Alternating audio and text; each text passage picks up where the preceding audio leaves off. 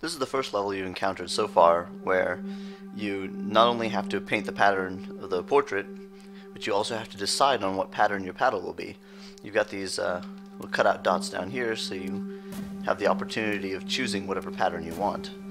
Um, in this situation, I remembered how easy it was to paint um, this kind of five on a on a die pattern, so I opted for this, which seemed pretty easy. To continue painting this, it's pretty easy. Uh, just need to turn it so that now you can fill in the other sides. Notice that I don't have to worry about painting both sides of my paddle since we're ringed by these blue uh, blue squares which will wash off the opposite side. Now that we've got the pattern correct, let's uh, take care of getting the paddle in the right shape. And then we have to stand next to it with the correct color. There you go.